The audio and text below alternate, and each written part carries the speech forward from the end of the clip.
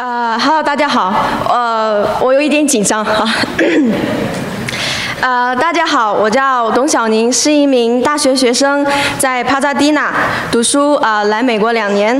呃，目前为止，我人生中有两件最幸福、最幸运的事，一是我出生在我现在的家庭，二是我认识我主耶稣。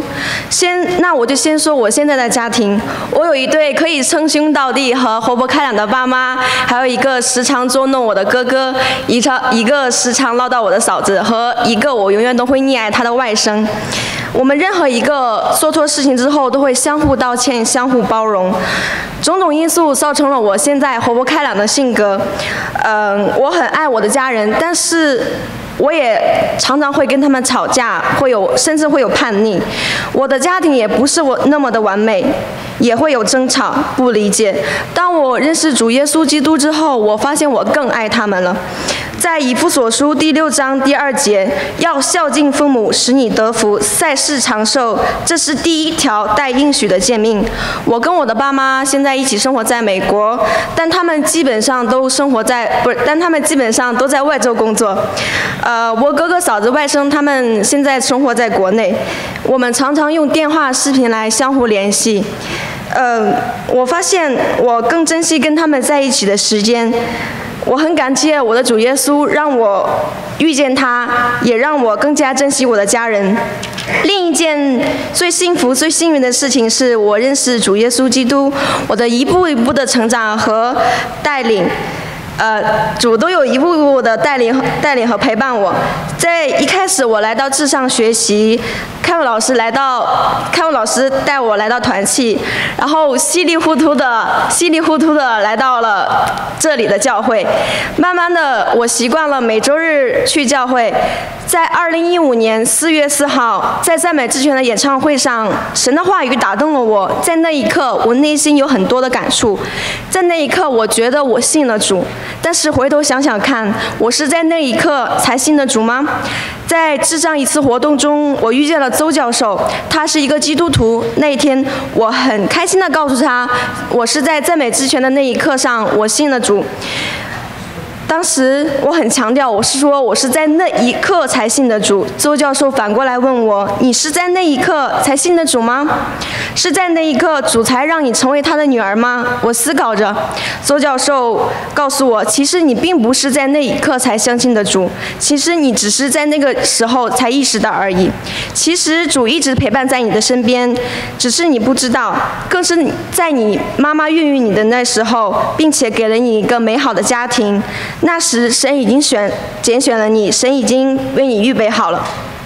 你的家庭、你的朋友、你身边的所有的一切，都是神帮你预备的。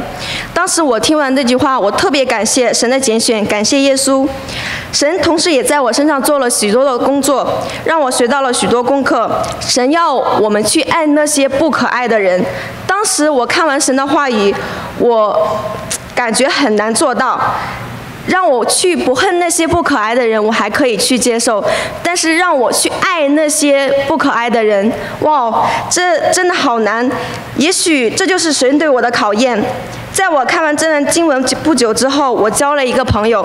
起初还好，但是当我越来越了解、越来越了解他，发现他说的话跟他做的事情是完全相反，而且跟你想的更加的不一样。内心想为什么会是这样？当时我我想想到了神的话语，让我要让我去爱那些不可爱的人。可是这对于我来说是有多么的难。也让我看到我自己有多么的不好，多么的丑陋，让我，然后我去向神祷告，诉说我的丑陋，求神帮助我。之后我用了一段长时间去平复我的内心，起码现在我不排斥与他交往。如果他有需要时，我也很乐意去帮助。神改变了我，如果是以前的我，我遇到这样的人，甚至都不会想要去了解他，甚至都不会有跟他什么交往，更别说帮助他。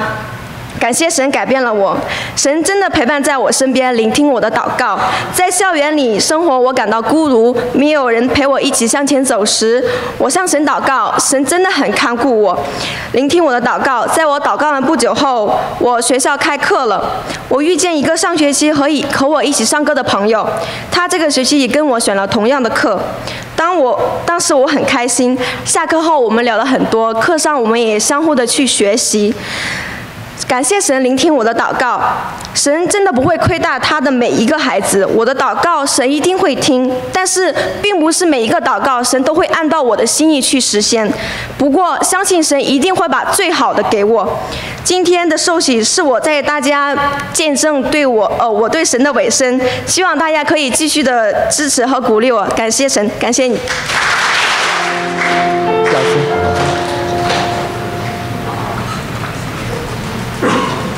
小心，坐上来，坐下。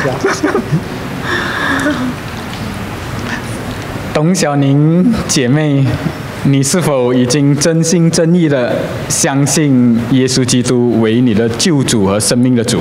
是。你是否愿意一生一世、永永远远的服侍主、跟从主，永不再回头？是。既然你已经相信了耶稣基督为你的主和生命的主，并且愿意一生服侍主，永不回头，我就奉圣父、圣子、圣灵的名为你施洗，